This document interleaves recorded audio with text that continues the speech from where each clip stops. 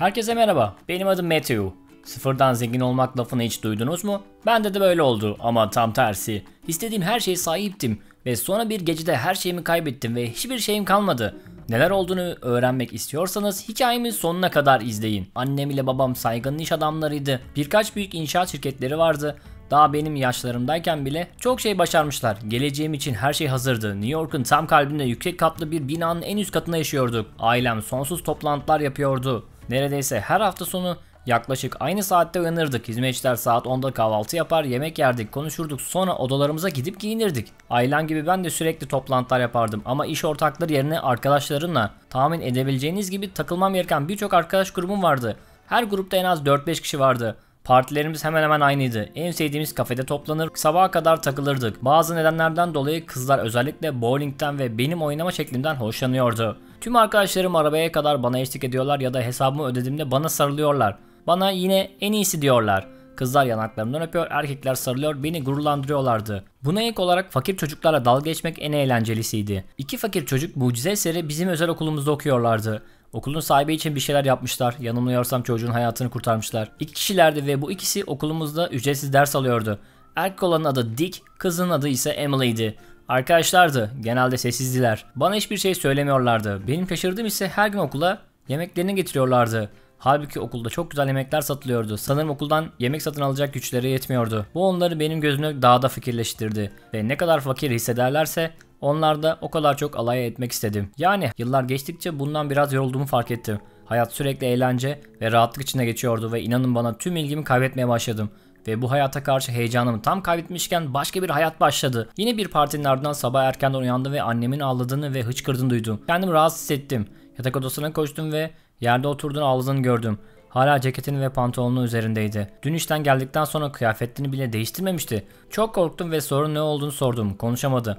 Ama o zaman bile meselenin çok ciddi olduğu belliydi. Sadece bir saat sonra ailemizin iflas ettiğini söyledi. Bu haber beni şok etti.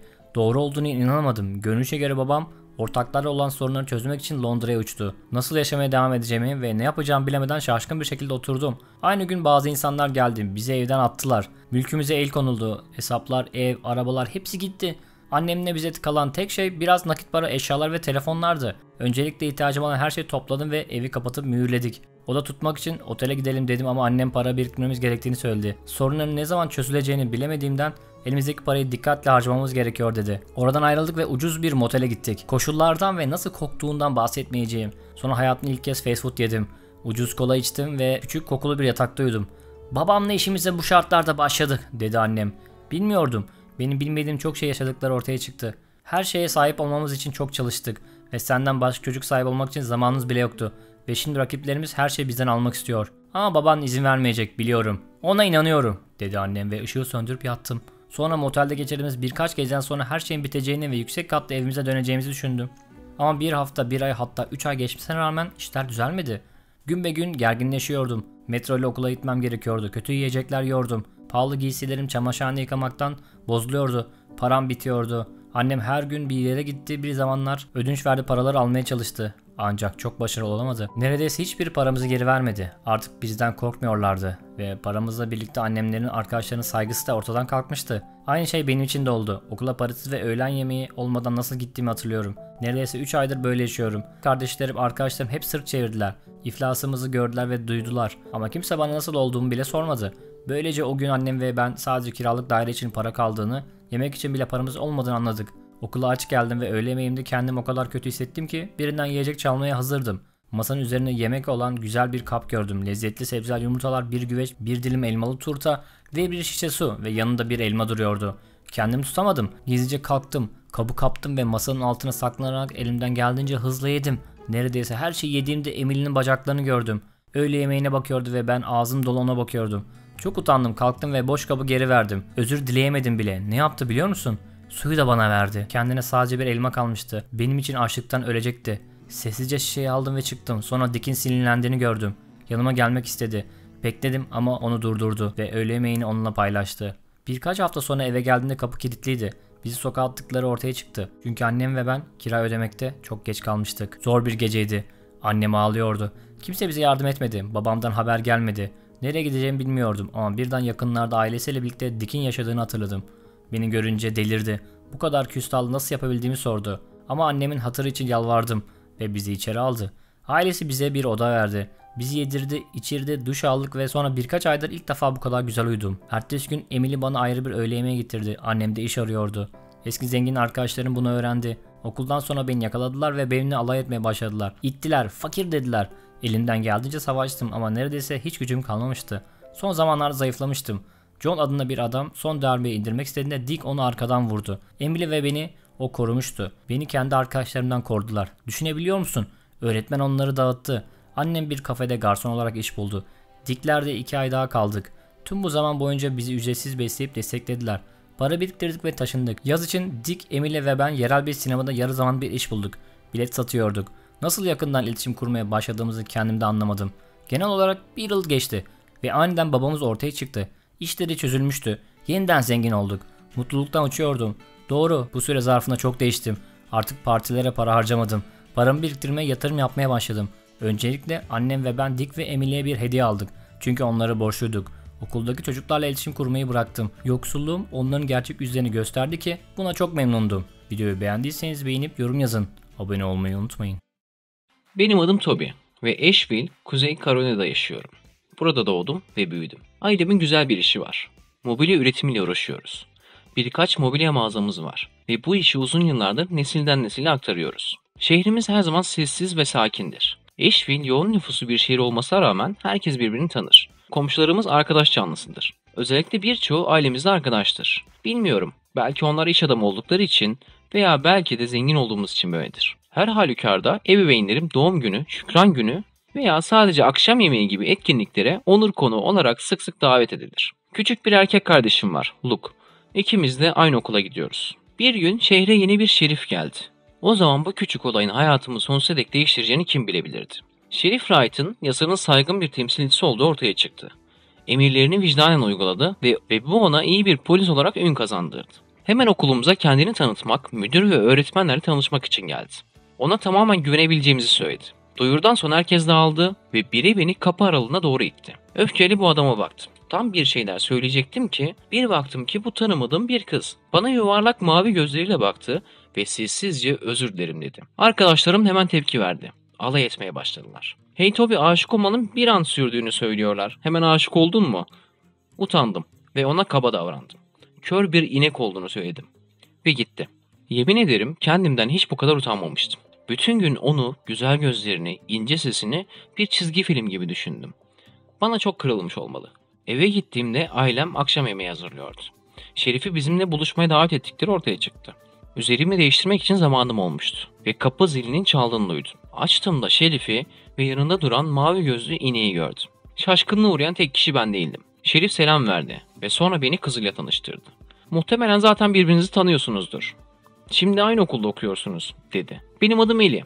Bir şey olursa inek değil dedi. Sonra ebeveynler gelip onları eve davet etti. Genel olarak akşam yetişkinler için iyi geçti. Şahsen ben utandım. Bir konuşma başlatmaya çalıştım. Ama Eli çok kırılmıştı. Yemekten sonra dışarı çıktım ve annem yanıma gelip misafirimde davet etmem gerektiğini söyledi. Bahçemizde biraz yürüdük. Bahçede salıncakta sallandık. Orada af diledim. Çok utanıyorum dedim. O akşamdan beri bir arkadaşlık kurduğumuz, birçok ortak çıkarımızın olduğu ortaya çıktı. Her gün okulda konuştuğumuz arkadaşlarımla onu tanıştırdım ve bizimle takılmaya başladı. Ona sempati duydum ama itiraf etmeye cesaret edemedim. Birkaç aydır temas halindeyiz ve çok yakınlaştık. Dostlarım onun için beni bile kıskanıyordu. Bir gün Eli akşam geç saatlerde yanıma geldi. Pencereden içeri girdi. Ağlıyordu. Bir saattir babasına ulaşamamış. Tıpkı bu daha önce hiç olmamıştı. Eli ona bir şey olabileceğinden endişeliydi. Onu elimden geldiğince sakinleştirdim. Sonra ailem odaya geldi ve çay içmeyi teklif etti. Birkaç saat sonra Şerif kendini gösterdi. Gizli bir görevde olduğu ortaya çıktı. Onu sakinleştirdim ve taksiye bindim. Eli bana sarıldı ve onu öpmeye karşı koyamadım. Gerçek olmayan bir andı. Bana mutluluktan çıldıracakmışım gibi geldi. Aklım çıktı. Eve döndüm. Annem bir daha artık onu bizim evimizde özellikle odanda görmüyorum anlaşıldı mı diye bağırdı. Neler olduğunu anlamadım.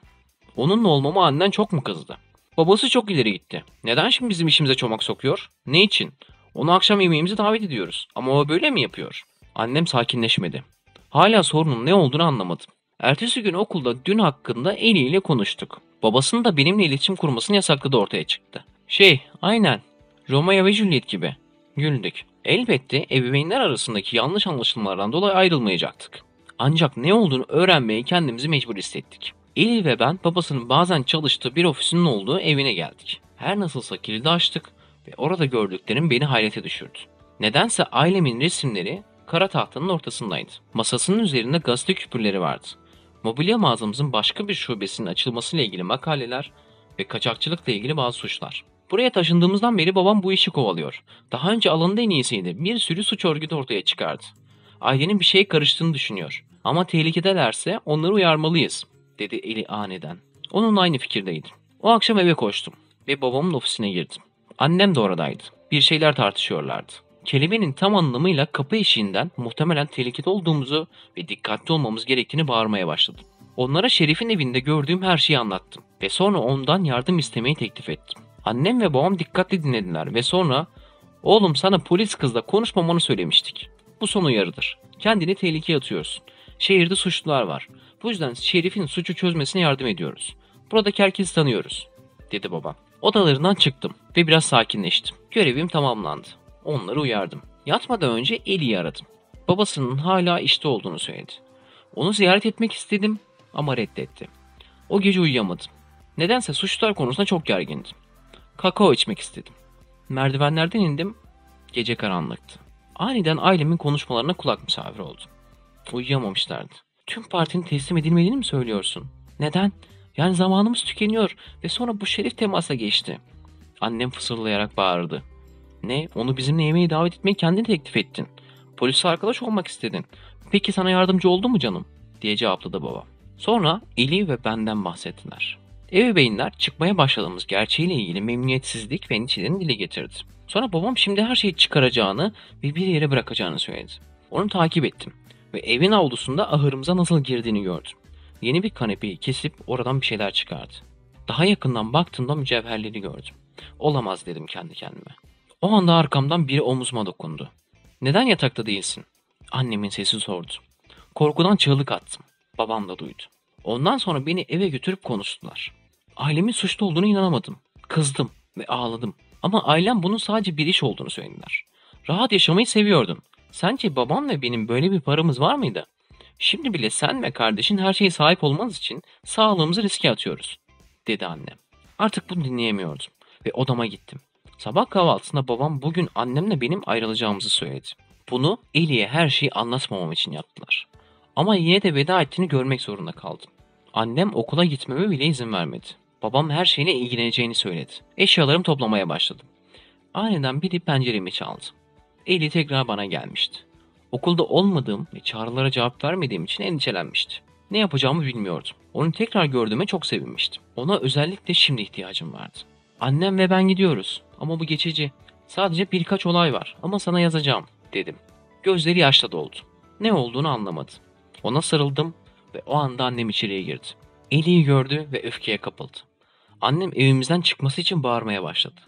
Sonra ışıkları yanıp sönen birkaç polis arabası eve kadar geldi. Bunun son olduğunu anladım. Annem ve babam kaçmaya çalıştılar. Beni ve erkek kardeşimi aldılar ve arka kapıdan dışarı çıkmaya çalıştılar.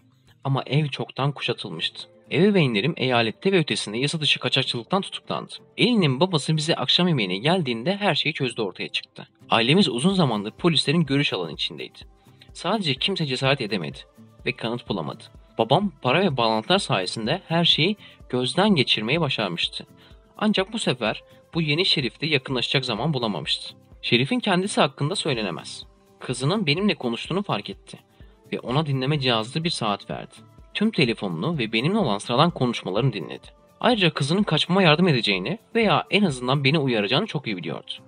Ve bu da başka bir kaçakçılık serisini bozacak, planları bozacak ve anneme öfke nöbetleri ekleyecekti. Eli farkında olmadan benim gibi deneyimli bir polis memurunun elinde bir soruşturma aracı oldu. Bir yere gitmek ve zaman kazanmak sadece birkaç saatimizi aldı. Bana öyle geliyor ki o zaman tüm hayatımız boyunca kaçmış olurduk. Tabii ki tüm şehir duydukları karşısında şok oldu. Yerel basın melek ailemiz hakkında alıntılarla, yüksek sesli manşetlerle doluydu. Doğal olarak yaptıklarımızı onaylamıyordu. Belki de bu nedenle bana hiçbir şey söylemediler. Ama aynı zamanda kardeşim ve ben ebeveynlerimizden ikisinin de cezaevinde olacağı gerçeğinden dolayı çok kötüydük. Şimdi duruşma devam ederken iyi avukatlar tuttular. Bu yüzden de en azından bir süre bulacaklarına dair umutları var. Biz kendimiz hala büyük anne ve büyük babalarımızın koruması altındayız. Neredeyse tüm mülklere el konuldu. Ailem Şerif'ten nefret ediyordu ve Elinin benimle konuşmasını yasakladı. Buna rağmen birbirimizi hala gizlice görüyorduk ve internet üzerinden sık sık iletişim kurduk. Öyleyse hayal edin. Görünüşe göre romantizmimiz Romeo ve Juliet'ten daha kötü olmadı. Ben ailemi yaptıkları için yargılamak istemiyorum. Ancak her zaman sorumlu olmamız gereken sonuçlar olduğunu anlıyorum. Çoğu izleyiciler abone olmadan bizi izliyor. Sevgili izleyici, abone ol. Bu daha da ilgi çekici hikayeler yapmamıza yardımcı olacaktır.